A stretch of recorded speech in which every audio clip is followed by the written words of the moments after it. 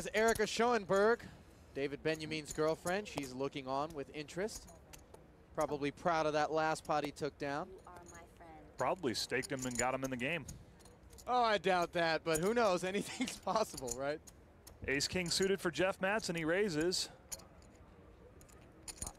And here comes Shana with a Jack 10 offsuit. And that's such a trouble hand, calling a raise, especially when you're out of position. Jack 10 just spells disaster. Playing out of position at no limit hold'em is very, very difficult and very dangerous. Pocket fours for David. Why is it difficult and dangerous? Simply because it's so easy to flop second best hand when you have a hand like Jack 10. And when you do, you're going to pay a very big price. There's something that happens when you get it. When I'm now it's the first flop that I've been in. You sort of forget the hand that you just looked at. I don't. Is that, do has that that ever the happened to you? Time. You do? You get in the, yeah, when the flop comes out, you don't even remember what, what you have, Yeah. so you have to check it out. That's okay. happened to me before. Okay. Confessions from a former world champion. Jack Queen 6 with a couple of spades. Jeff Ready. Madsen has flopped a royal flush Um, draw.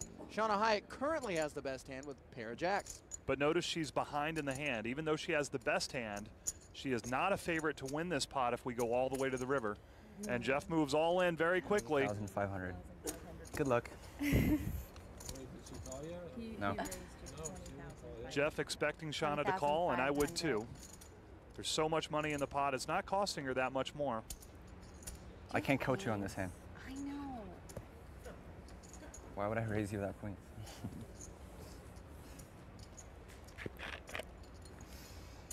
Oh, Shana lays it down. That was a mistake.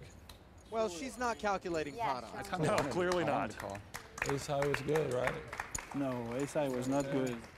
She had a jack. I did. I had a Jack. You had the jack. I Of did course, she had Jack. a jack. Shana's cutting her teeth here amongst these sharks. So far, it's been the school of hard knocks.